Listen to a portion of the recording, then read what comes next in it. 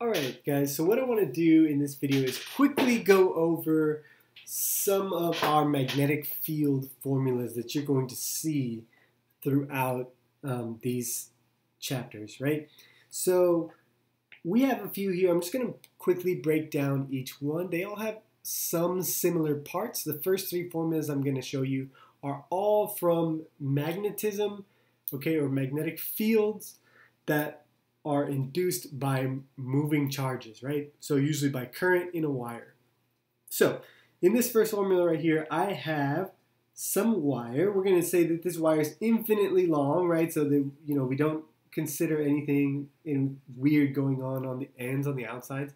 Um, so we just have this infinitely long current carrying wire and any wire that has a current moving through it will generate a magnetic field, right?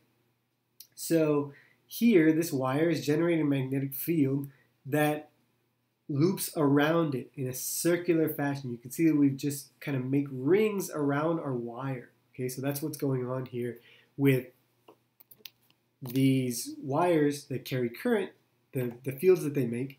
They're very strong here near the wire, but then as they get further and further away, at some radius away from the wire, they are going to drop off in strength significantly, right? And the way that we express that is with this formula right here. So I here is my current, okay? And this is in amps. And R is the distance from the wire.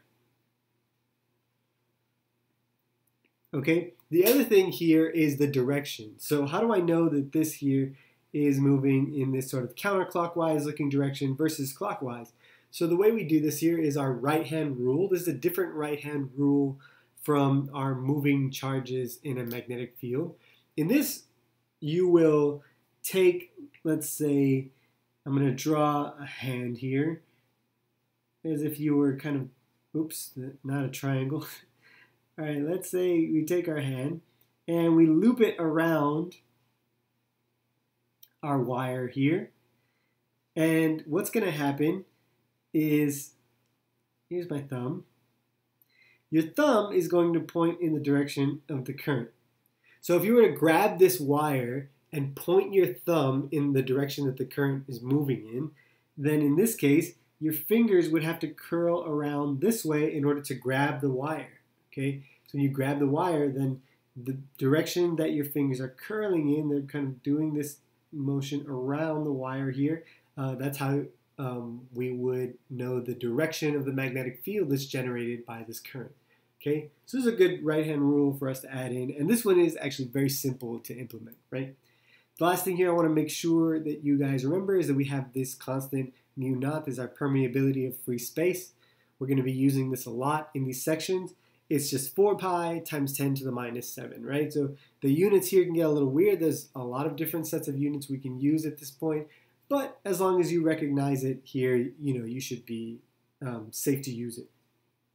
Okay, so now I'm going to take this wire and I know it's creating a magnetic field, but we also know from the previous modules that magnetic fields will also affect other moving charges. So what if I took my wire right here, and now I put a second wire next to it that's also carrying current. Well, this wire is going to create a magnetic field, right?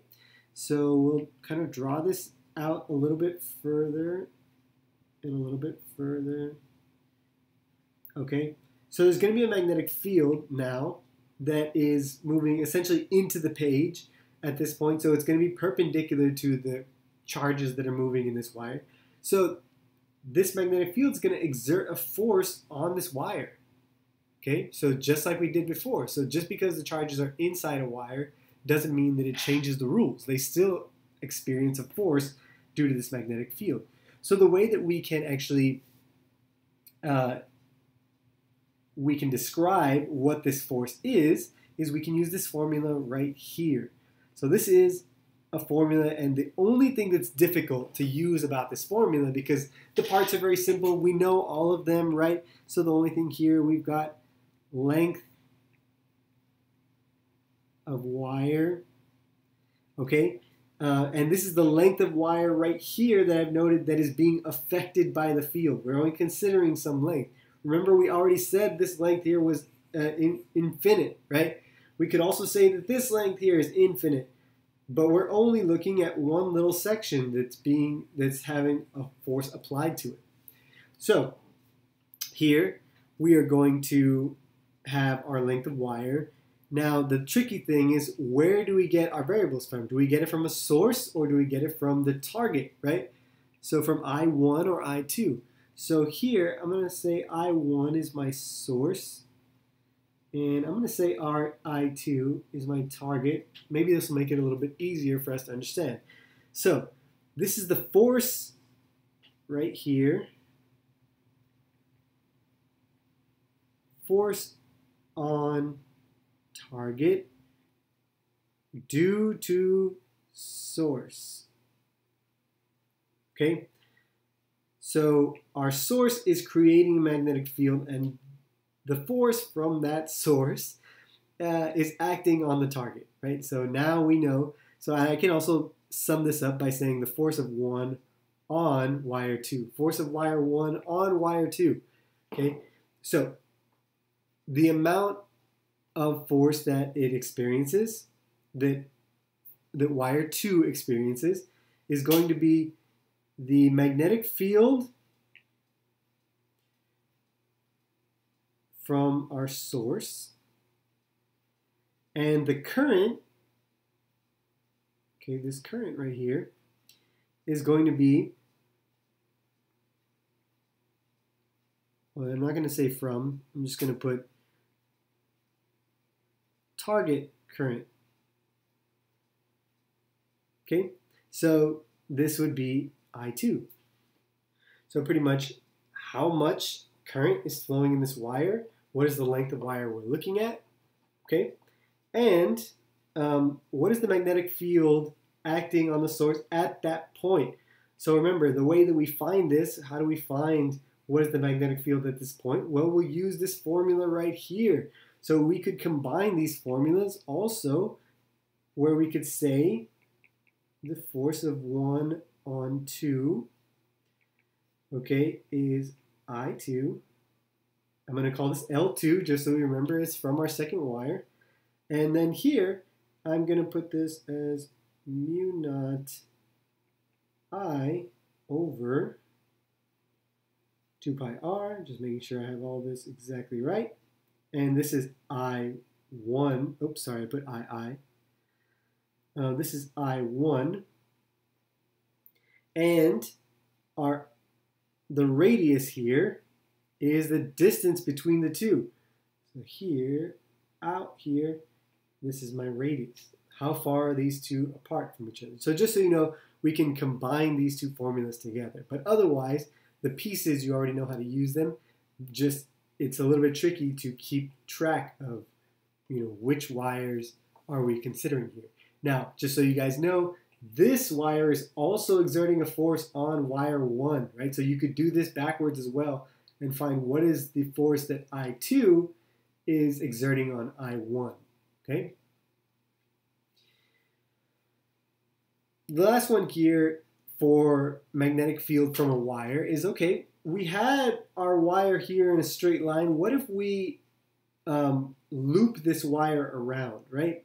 So if I make a loop, so we know if I make a loop with my wire just like this, and I have my current moving in that loop, so just one loop, um, then you'll use your right hand rule.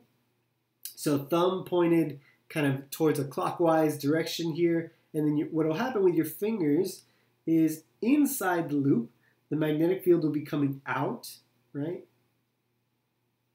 And outside of the loop, it will be going into the page.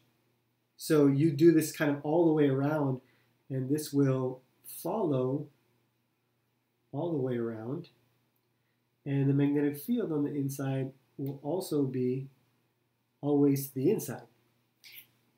So it'll go no matter which direction you're facing, your fingers will always curve in the same direction, kind of like you're holding a steering wheel here. Um, so your fingers will always be pointing back towards you from the inside and away from you on the outside. So the way that we can use this is what if we make a bunch of loops, all right? We want to amplify this effect because if I do this twice, if I make two loops, well, the magnetic field becomes even stronger, right? Because I'm doing one magnetic field from one loop and then another from another loop. And then we'll just keep doing this over and over and over. And what we can do is we can actually make a solenoid. A solenoid is going to be um, a magnetic field that's generated by loops of these wires. So it's going to look just like this. We have some current running through.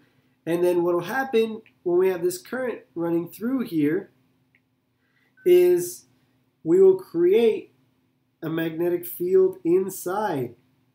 Okay, and it'll be amplified, but it'll be kind of a straight line inside. It's just this kind of uh, on a side view now.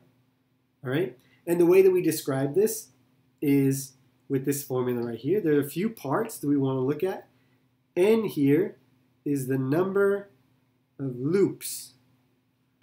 L is the length of my solenoid, total length. Okay, and then I is the current, the amount of current that we're using, and mu naught is our trusty permeability of free space. So this one is very simple to use as long as we remember um, all of our parts here, number of loops, length, current. Uh, so there's not much here to trip us up, unlike in the two-wire example up above. And the last formula here, guys, we want to look at is magnetic field flux, and this one is the simplest one. Nice, short, sweet for us to do. Um, this is the magnetic field that flows through some certain area, just like when we did electric flux. Okay, super, super similar idea. Okay, and this is my magnetic field dot product with my area. Okay, so this area right here. So if we want to rewrite this formula, because I have some area, let's say I have some rectangle of length times width, and I have a magnetic field running through it. All right, this is great. Um, so this would just be my magnetic field times my area, right? Great. But what if I turn this plane now so it's not completely perpendicular to my field?